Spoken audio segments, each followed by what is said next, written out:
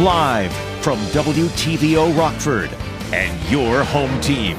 Eyewitness News at 5 starts now. There's still no driver in custody after a hit and run in Rockford. Police release an update on the condition of the bicyclist who's been in the hospital since the crash. Rockford's housing numbers hit an all-time high. Experts look at what's driving prices higher and who's got the advantage in this market. And a Janesville man gives to families facing tough times. He says it's all to repay the generosity he was shown as a kid. Good afternoon. I'm Eric Wilson. Mimi Murphy is off. The 61-year-old involved in a Rockford hit and run earlier this month has died. September 14th, a tan Toyota Camry hit a bicyclist in East State Street near the OSF St. Anthony Medical Center. The cyclist was taken to a hospital in critical condition. Police reported today he passed away.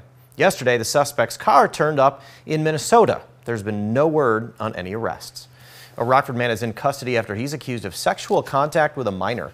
Back in May, someone contacted Rockford police to investigate. The Sensitive Crimes Unit identified Martin Mota as the suspect. The minor and Mota knew each other. Yesterday, Mota was arrested and taken to the Winnebago County Jail. He's charged with criminal sexual assault and aggravated criminal sexual abuse. Eyewitness News is committed to supporting survivors of all forms of violence and finding solutions. Our website has a list of resources that can help anyone who's struggling. Just go over to mystateline.com and click on the Stateline Strong tab. A Rockford man is charged for a murder from nearly a year and a half ago. April 14, 2022, Rockford police were called to 11th Street and 6th Avenue for shots fired. They found Deontay Turner lying on the sidewalk. He died at the hospital. Detectives say Tyree Scott is responsible. Scott is charged with first degree murder and conspiracy to commit murder. He is in the Winnebago County Jail on unrelated charges. New numbers show Rockford's record housing market continues to rise. Average home prices now sit over $200,000. Drea Baroni joins us now in the studio. Drea, higher prices not keeping people from buying. That's right, Eric. Home prices are at a steady increase with many buyers looking to relocate here in Rockford. We're really excited that um, we're uh, breaking that $200,000 threshold. Uh, it's just an incredible milestone to meet. New statistics show home prices in August across the Rockford region hit an all time high.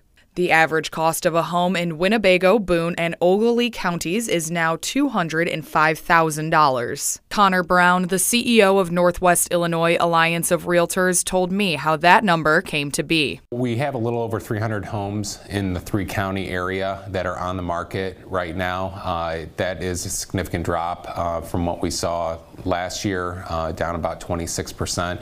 So when you have fewer and fewer homes uh, and still a large pool of buyers that are out there competing, it's, it is pushing those prices further up. Due to that low inventory, this most certainly is a seller's market. Buyers are still scrambling. Uh, we're still seeing multiple offer situations. We're still seeing homes sell within a day. Uh, so just a lot of activity. Uh, so that hasn't slowed down at all despite higher mortgage interest rates.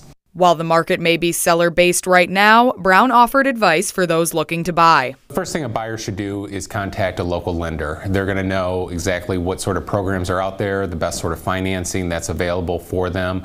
Uh, they're also going to understand very well our local market. The second thing is reach out to a realtor. They're going to guide you through that process. Uh, it can be somewhat of a patient exercise because you are competing against other buyers, uh, but you know if you find that next house, you need to be able to act on it quickly.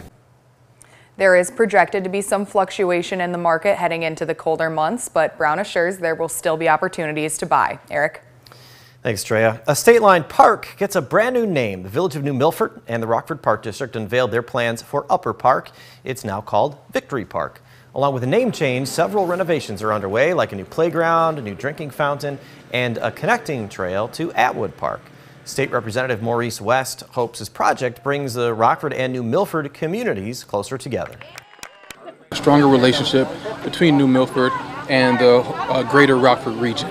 Uh, it's not, it shouldn't be Rockford versus the re rest of the smaller communities. It should be Rockford and the rest of our small communities because we are working together to build up the Winnebago County uh, as a whole. A $600,000 grant from the Illinois Department of Natural Resources is paying for the project. Renovations are expected to be finished next year. State Line volunteers come together to give back to the community. United Way of Rock River Valley held its Day of Caring. More than 50 volunteers from 12 companies and organizations participated. They helped out at nonprofits across the region, like the Discovery Center Museum. The manager for the center's new maker space says events like this benefit everyone. Uh, as a nonprofit museum, we rely a lot on um, our community to come help us out, and so it's really great to have people from from the community come and help us out with these cool projects for the public. So in the end, it's a big it's a big uh, giving back to, to everybody. So it's really cool to have collaborations like that. Most of the preparations at Discovery Center went toward the museum's Spooky Science event scheduled for the end of October. A local man gives back to the community in a special way. Nikel Delgado visited him in Janesville. Nikel, he's paying it forward to help kids and adults. That's right, Eric.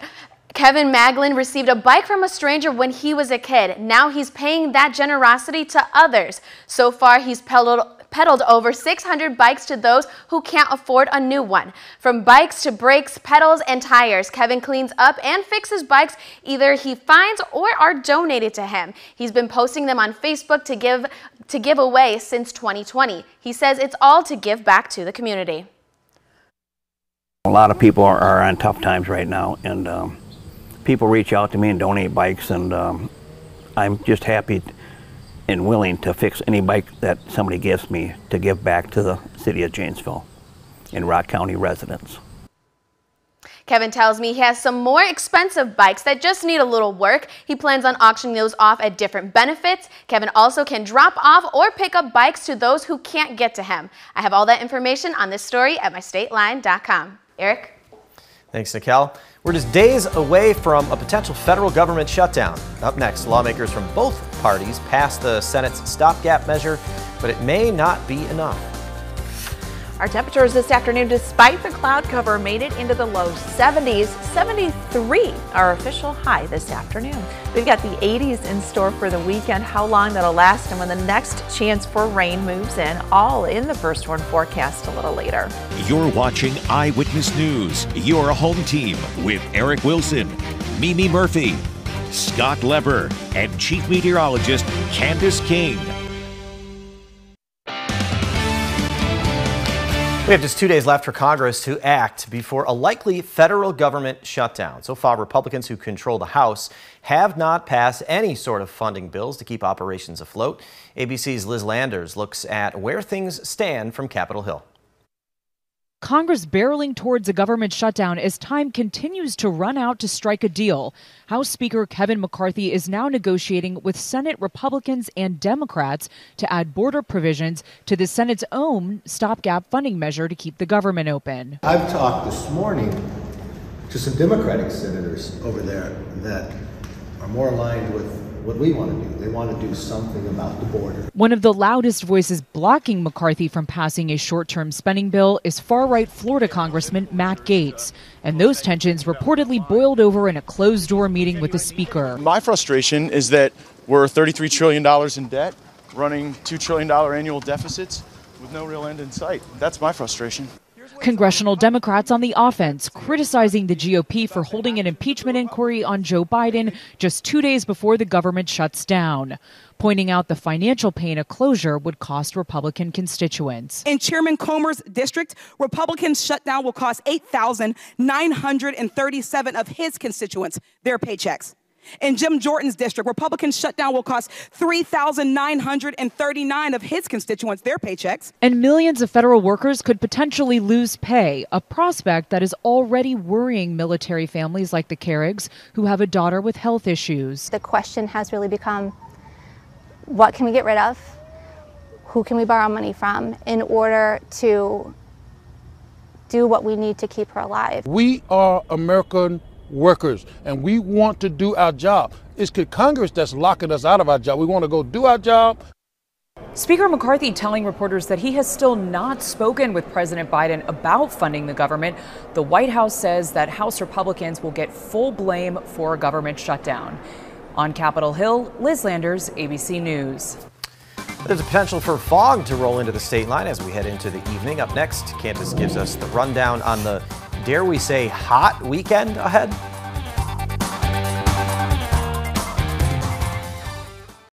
Now, your first warn weather forecast from Chief Meteorologist Candace King.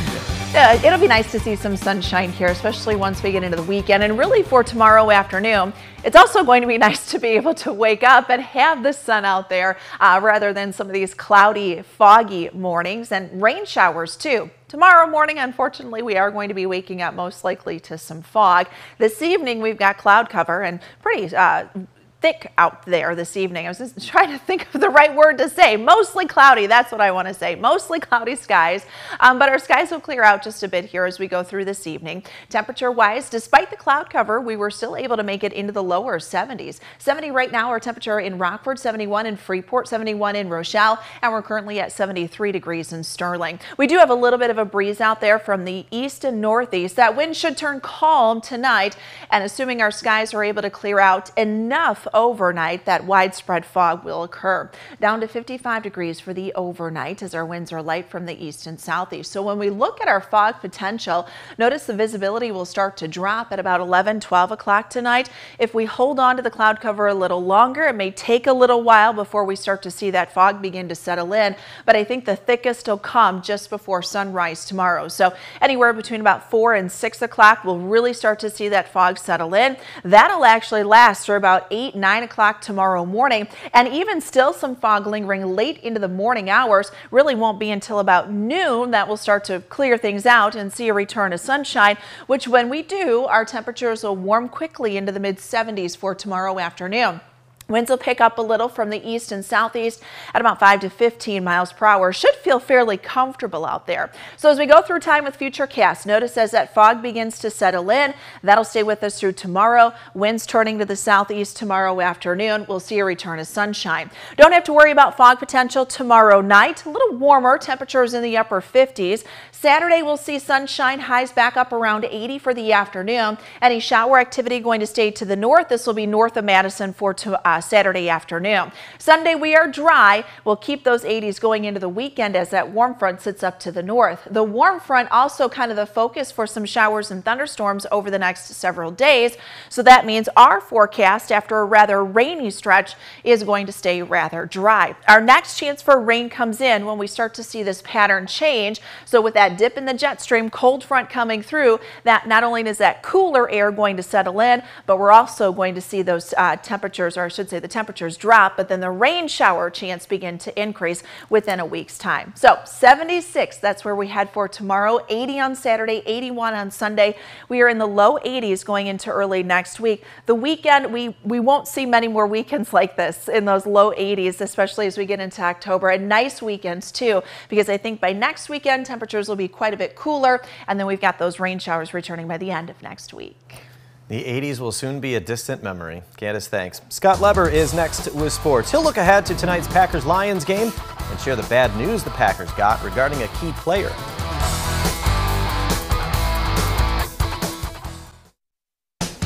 Now sports with sports director Scott Leber. The Packers have a shot to take over sole possession of first place in the NFC North tonight. They'll host the Lions in a game that'll be streamed by Prime Video. And the Lions won the last three meetings between these teams, including the season finale last year when they kept the Packers out of the playoffs. The Packers could possibly have Aaron Jones and Christian Watson back on the field tonight, but David Bakhtiari and Elgton Jenkins will again sit out. Bakhtiari will sit out the next four games. He's been put back on injured reserve. Matt LaFleur says the Packers have a chance to win tonight if they play some clean football. They committed nine penalties last week. The young roster leads to a lot of that. Sometimes when you have a lot of youth out there, is these guys don't always relay calls that well, and but I think they'll get better as the season progresses, and I'm, I'm not in complete panic mode about it yet. We just got to continue to stress that and it's got to get better. It's got to improve because it, it does make it hard to go out there and execute and specifically on offense sustain drives and score points if you're going backwards well, I'm picking the Lions in this one 28 to 17. The Packers' banged up offensive line is going to struggle against the Lions' defense. The Lions have held seven of their last uh, eight opponents to 20 points or less. Sunday, I've got the Broncos sending the Bears to 0-4. I have more faith in the Broncos coaching staff than I have in the Bears. Cubs will get one final shot tonight to get a win in Atlanta. They've got Marcus Stroman going to the mound. The Cubs have blown leads the last two nights and wound up with a pair of 1-1 losses. Now, the Diamondbacks lost today to the White Sox 3 to 1, so the Cubs are a game and a half behind the Diamondbacks for that second wild card spot in the National League. In high school golf, the guys went after regional championships yesterday. Today it was the girls' turn. This is the 2A Girls Regional at Atwood Golf Course. And Belvidere junior Emma Pearson led the way for Belvidere Co-op. Here she is coming up with a nice par save on the second hole. Pearson shot a 4 over 76 to finish in second place. Boylan's number one, Eva Greenberg, played solid golf today. That's a tap-in birdie right here.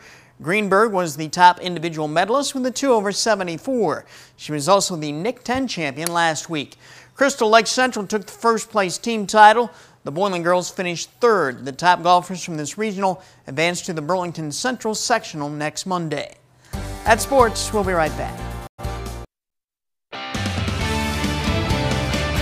The temperatures just keep climbing from here on out. We had quite a few clouds today, so we, we yeah. barely made it to the 70s, but this weekend's going to be a very different story. I was taking uh, my younger two to school this morning, and I said, It is going to be nice when we can wake up and we've got sunshine rather than cloud cover. And they're like, Yeah, it will be. it's been hard. Those kids to- are smart. It's hard to get going there in the morning Yeah. when you've got clouds. Tomorrow morning, it's going to be fog um, that we have to kind of deal with, and some of that could be dense. So, up early tomorrow, especially in the open and rural areas, just to be mindful of that, especially at the- as the visibility changes in some spots. Um, we've got cloud cover out there now. The one thing that would limit just how dense that fog gets is if our clouds stick around for a bit longer tonight, but we stay rain free down to 55 tonight. We're 76 for tomorrow, so pretty decent afternoon. Looking forward to those Friday night football games. Evening should be great. I know last Friday we had to dodge a couple of rain showers.